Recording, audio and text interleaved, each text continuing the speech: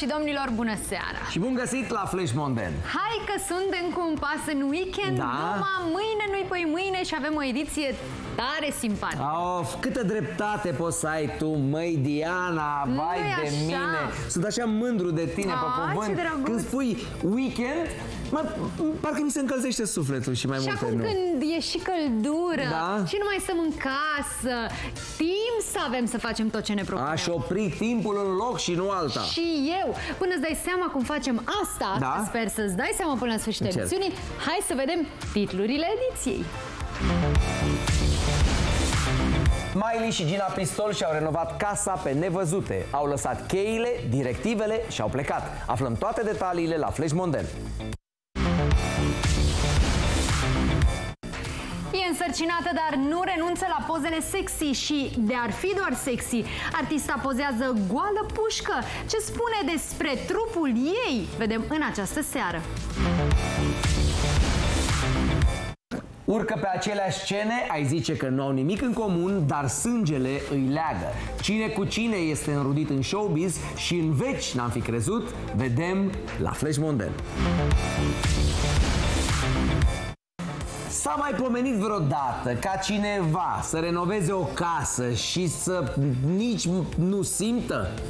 Să știi că fix așa am făcut eu, Așa. dar nu am zis pac, pac, pac, totul, să n-am simțit nimic. Du-te mă, nu pot Du-te, să că cred. Nu, chiar nu, chiar era așa ca să uit eu de, de, de, de toată perioada aia în care nu mai știam de mine. Păi da, Păi că ce, te e apucă super toate greu. alea vorba Păi aia, te normal. apucă și anxietate Păi și da. fel de fel, da. Plus că se face praf, ai văzut, când mai muți un lucru de Ah, acolo, praf? acolo, acolo. Aoleu. Da, da, ia fi atentă. Ia, ia, ia, ia. Ia imaginează Ia tu Așa, vrei să te muți? că nu, Da. Smiley și A- Gina Pistol așa. au renovat toată casa și nu stau într-o garsonieră. Te gândi. Acum cu Au copil dus mic? mai- Da, da, da, da, da. Vai de capul Au o, o căsoaie, vorba aia. Da, nici nu au știut ce li se întâmplă. cred și Stai eu. puțin să Hai vezi să vedem, chiar acum abia de ce. Deci aveam mai mult de o viață Deci iubi de două ori Până dincolo de stele Până dincolo de nori. Dacă aș lua de la capăt Tot pe tine te-aș iubi. Ești cu totul peste toate. Tu îmi ești, tu îmi vei fi Gina Pistol și Smiley n-au timp nici să respire. O au pe fica lor Josephine, care le ocupă tot oricare altă familie se întâmplă lucrurile și la ei. Ei bine, de când a venit pe lume fica lor, Gina și Smiley și-au dat seama că trebuie să facă niște modificări prin casă. Dar s-a fost cu toată familia. Nici n-a vrut să vadă moloz la el în casă, n-a vrut să vadă saci de glet, ciment, gresie sau faianță. Parchet? Nici atât. Lucruri depozitate? Fără. Arhitecților nu prea le-a venit să creadă că li se dă mână liberă într-o casă care îi aparține tocmai lui Smiley. Și cum spuneam, nu era o garsonieră de renovat. Locuința are living, bucătărie, trei dormitoare, trei băi și un garaj generos. Mai punem pe listă și curtea, care musai trebuie să fie prietenoasă cu copiii, mai ales că Josephine va petrece acolo o bună bucată din timp. Smiley ne-a dat libertate de plină, ne-a indicat direcția și viziunea lui general asupra spațiului și ne-am mai văzut doar la petrecerea de final. E singura experiență de acest gen întâlnită de noi până acum, în care beneficiarul să-ți acorde încredere totală. Casa lui Smiley și a Ginei Pistol valorează în jur de 300.000 de euro. Britney Spears trece printr-o perioadă ciudată. Este însărcinată, dar le arată fanilor doar poze cu ea goală. Ce spune artista despre trupul ei? Vedem imediat la Flash Monden. Știi vorba aia, sângele apă nu se face, Da, nu? așa este. Unii însă se fac că nu prea își mai recunosc nici rudele de sânge. Mulți artiști sunt înrudiți prin showbizul românesc, deși nu ai fi zis că îi leagă ceva mai mult decât o amiciție. Când colo, dacă scormonești puțin prin arborele lor genealogic, dai de un văr, de vreo Da. mătușă, de un nepot sau un unchi la fel de talentați. Haideți să vedem cine cu cine se înrudește prin showbiz. Ne vedem într-un vis Dansând pe cerul aprins N-ai fi crezut, dar Sorana Darcle, fosta membra trupei Asia, este verișoară primară cu Ștefan Bănică Junior. Artista a ținut ascunsă legătura de rudenie cu Ștefan Bănică ani de zile. De ce oare? Pur și simplu, Sorana nu a vrut ca lumea să zică că vărul său a fost cel care ar fi ajutat-o în cariera muzicală.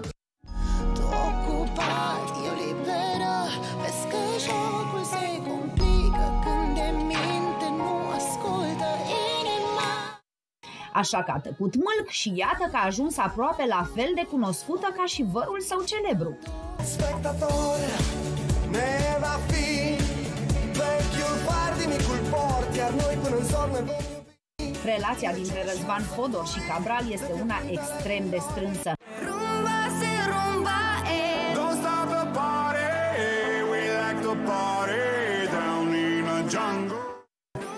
Mai pui că aceștia sunt și rude, mai nou, prin alianță însă. Răzvan Fodor și soția sa Irina sunt nimeni alții decât nașii de cununii ai lui Cabral și ai Andrei Pătrașcu.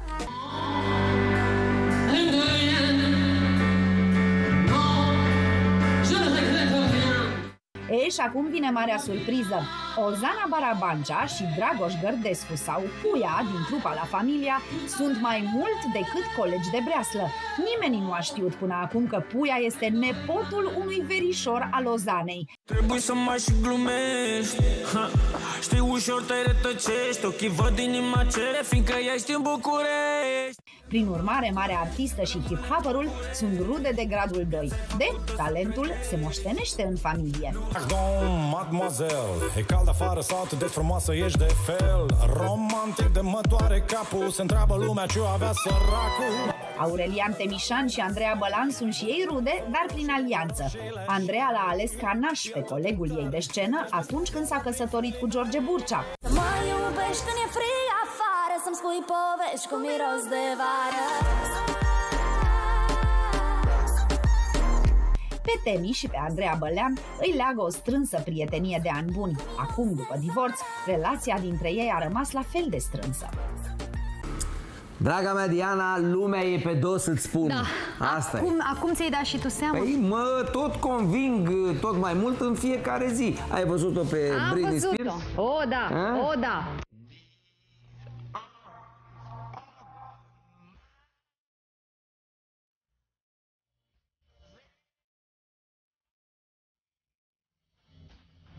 Tocmai ce-a dat vestea că e însărcinată că Britney Spears trăiește o dramă imensă. A suferit un avort spontan și visul de a deveni mamă s-a năruit.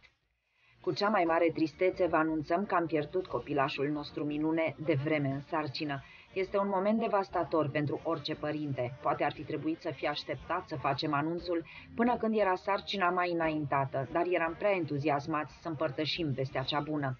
Iubirea pe care ne-o purtăm unul celuilalt este puterea noastră. A zis ea odată ce a dat sfoară în țară că va deveni mama a treia oară că e puțin stresată de faptul că ar putea cădea din nou în depresie. Ultima oară s-a lăsat cu un control al vieții totale de către tatăl său. Ei bine, acum n-ar mai fi vrut să ajungă într-o asemenea situație, dar gurile rele spun că obsesia că îi se va modifica trupul din nou odată cu sarcina au înnebunit-o.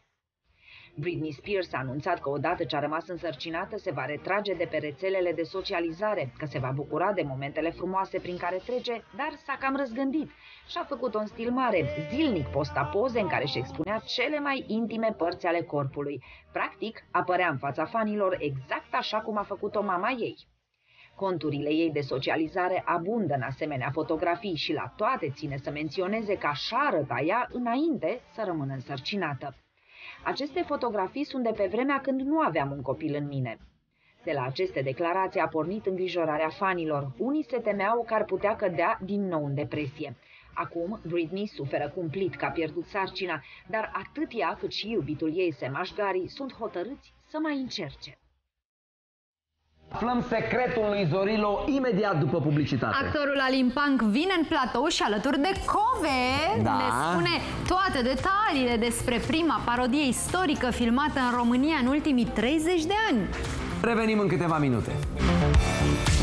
Din publicitate și l-avem invitat alături de noi pe Alin Panc, unul dintre actorii din pelicula Micul secret al lui Zorilo.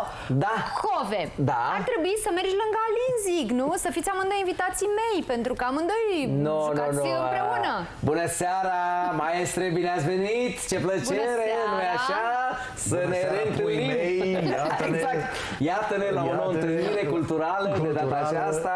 La Vorbim- micul secret al lui Zorilo. Exact, micul secret al lui Zărilo. Și dau lacrime de emoție că te le văd după interpretarea reușită. în Da, Așa, a fost, a fost o interpretare plenitudine deosebită. Exact. interpretativă, artistică.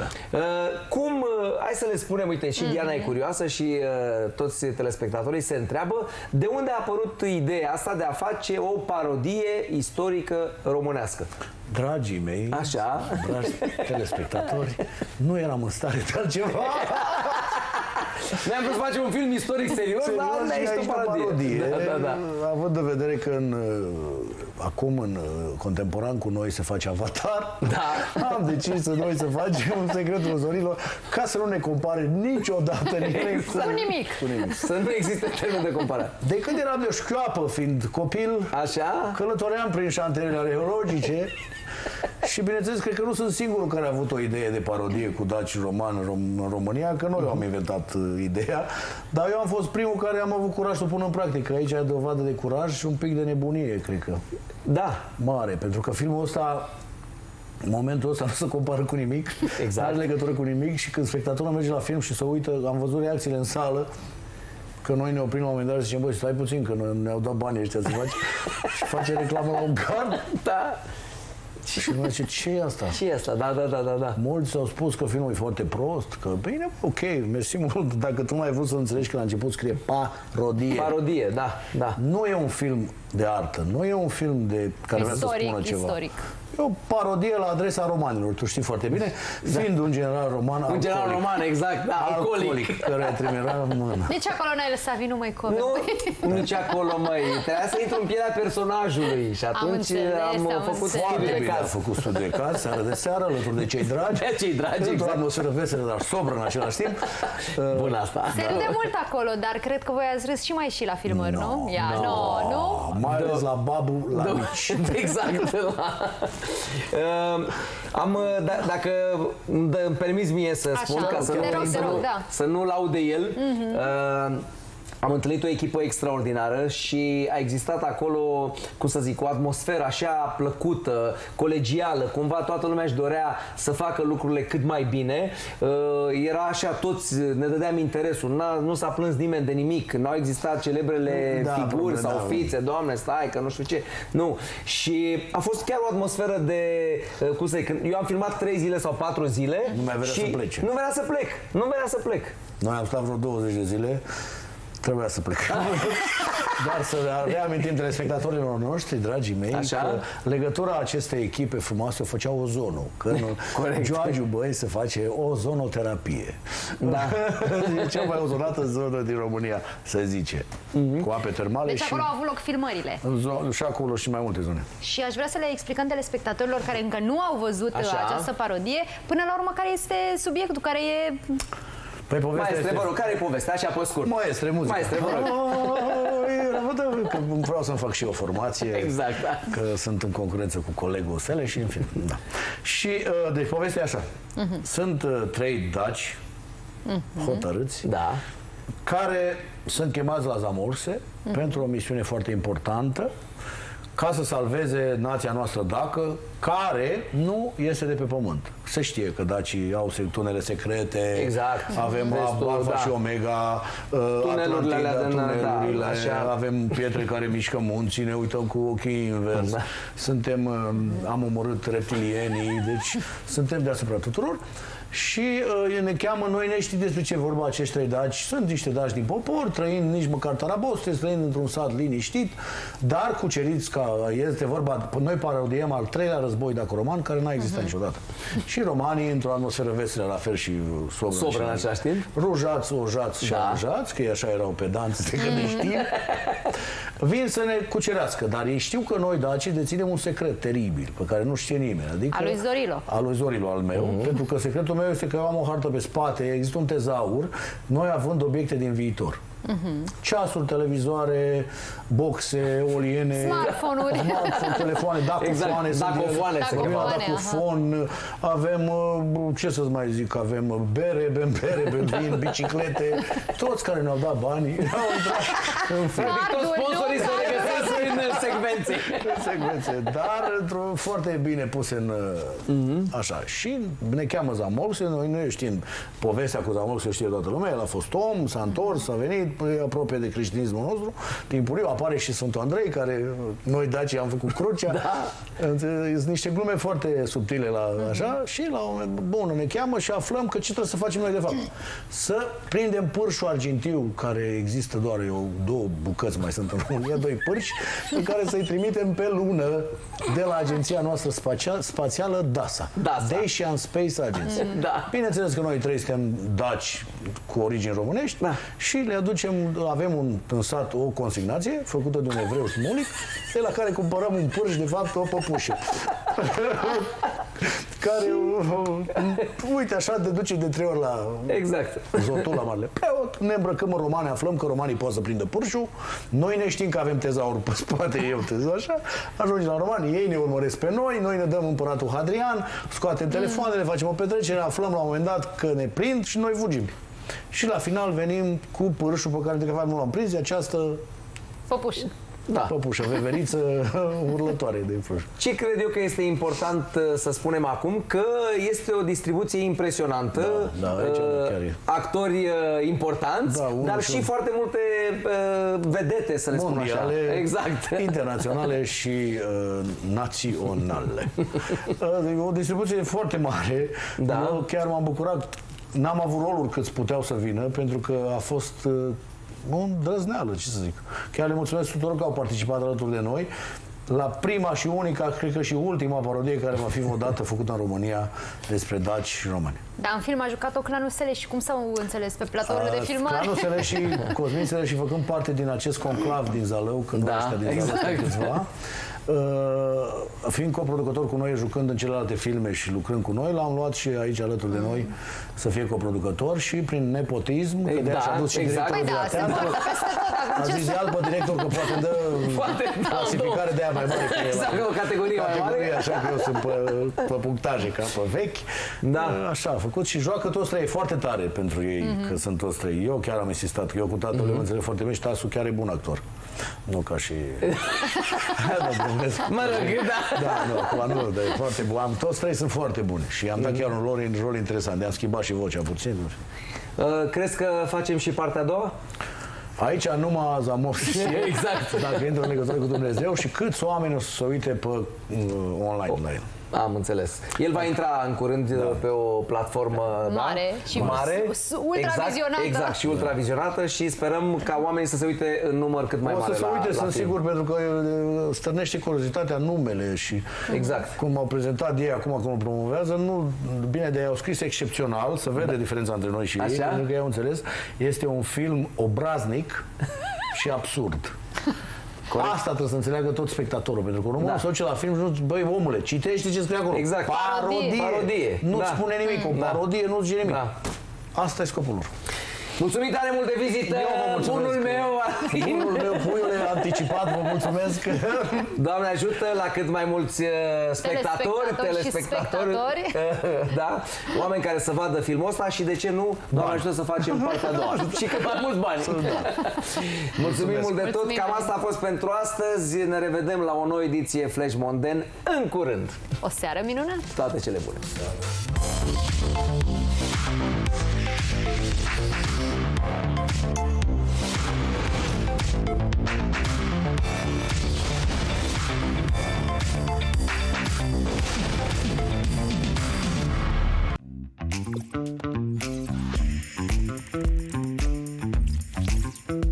Acest program este disponibil și pe Prima Play.